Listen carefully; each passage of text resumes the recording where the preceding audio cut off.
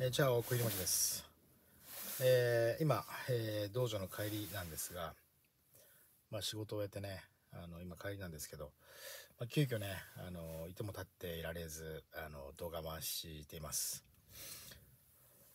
えっと、今回、あの、井上尚弥選手の試合を見に行ったんですけど、その前座でね、あの、日本タイトルマッチ、素晴らしい試合がありました。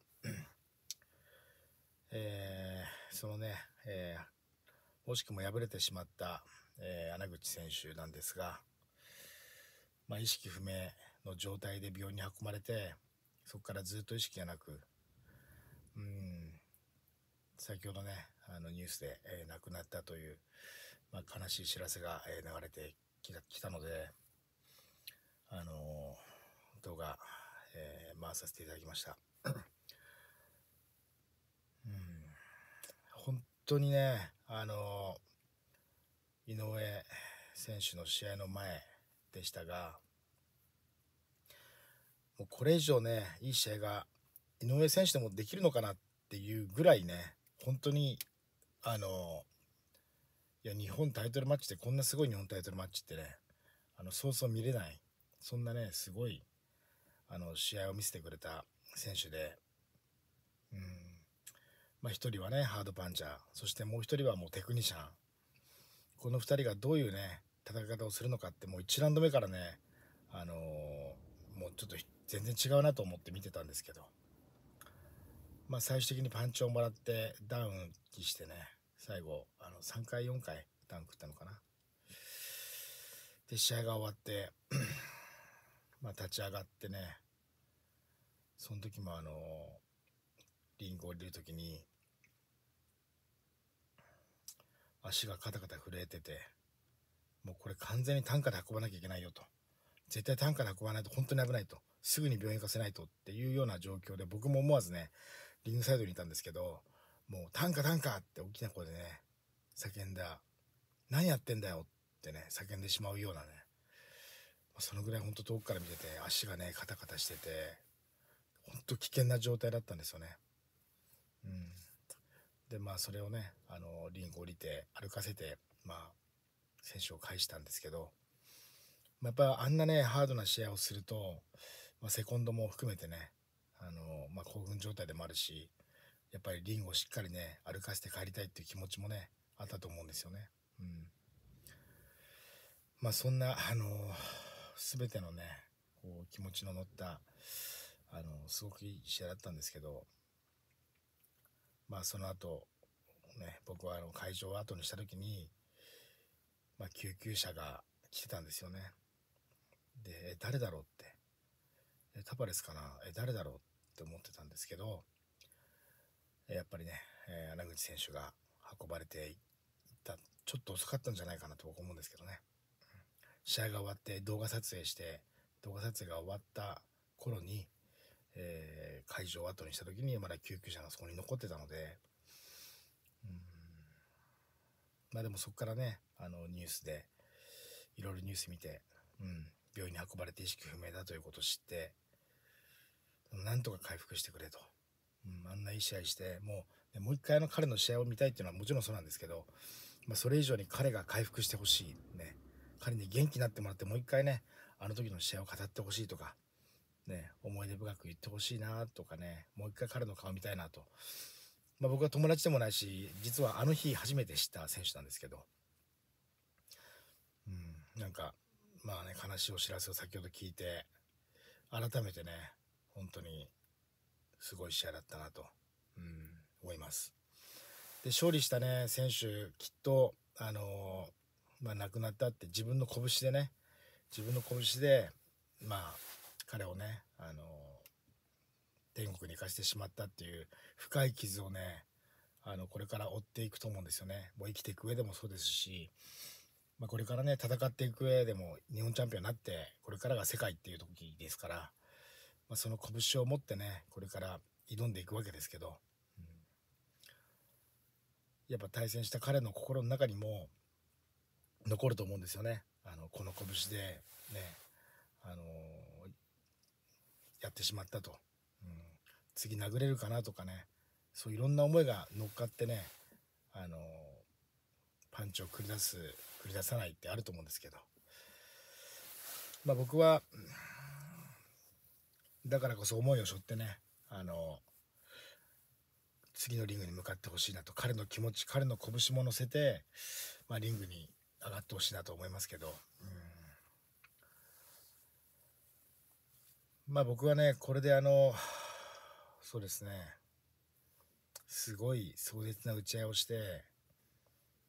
意識不明になって運ばれたっていう選手、まあ、過去にもねあの大阪の試合であの見たことがあるんですけど。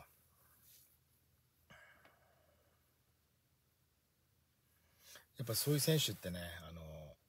神がかってる戦い方するんですよね。なんか、うん、本当に自分の人生をかけたかけてる、ね、命をかけてる、ね、この試合に向けてこのリングに向けて自分の人生をね今まで生きてきた人生をかけてるっていうねまあそういう選手っていうのは本当にあの死ぬまで殴り続け殴られ続け死ぬまでリングの上であの行きますから、うん。まあ、そういう選手を僕はねあの過去にも見たことあるし今回もねあのすごい試合見させていただいて。まあ誰が悪いわけじゃないんですよね。本当に。あのレフリーもね、しっかり見届けて、ね、いい試合をと思って彼らのためにと。でお客さんのためにと思ってやったわけだし、ね、セコンドだって、ね、彼がどれだけ練習してきたっていうこともねずっと毎日見て思いも知ってるので、ね、止めるに止められないだろうし最後まで戦わしたいという気持ちもねあるだし本当誰が悪いっていうことでも本当もなくあのこればっかりはねあの彼が、まあ、こういう、うん、自分で掴んだねあのリングの上だったので彼の生き方っていうのがねまあ皆さんにねあの思いを残ればいいんじゃないかな、うん、ずっと永遠にね生き続ければ彼のボクサーっていうのはねなんかまあ彼のねちょっと思いというか彼の試合がすごかったっていうこととね、うん、なんか同じね一人のファイターとして、うん、僕もリングで、ね、戦ってきましたけどいろんな選手見てきたしいろんな選手と戦ってきたしいろんな拳をね僕も顔に受けて体に受けてきましたけどうんやっぱこうね一ファイターとしてなんかこうあの試合もね実際見たんでなんか語りたいなと思って、まあ、動画、まあ、させていただきました。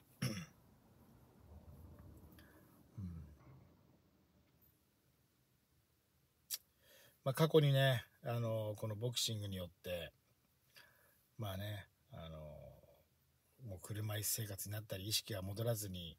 生きている人ってのは日本だけじゃなくて海外にもいるんですよね。うん、僕のねあの大好きな本当に世界で一番ハードパンチャーって言われてる言われて言われてるというか僕がそう今でも思ってるねあの選手もジェラルド・マクラーレンっていう選手がねマクラーレンなんか本当にパンチ力あってねミドル級の中でジュリア・ジャクソンも倒してね最高のパンチ力を持った選手がえー、海外の試合でね、フランスで、うん、あのー、まあ、レフリーの、あれはレフリーのせいと言われてるんですけどね、まあ、きっとお金とかいろんなものが回っててね、あのー、後頭部にパンチをたくさん受けて、最後はね、病院に運ばれて意識不明になったっていう。で、未だに車椅子でね、未だに記憶喪失で、うん。あの家族の力がなければ生きていけないっていう状況に、ね、なってる選手も僕は大好きな選手ですけどねいますしね、まあ、とにかく本当に厳しい世界ですリングに上がるっていうのは本当厳しい世界だし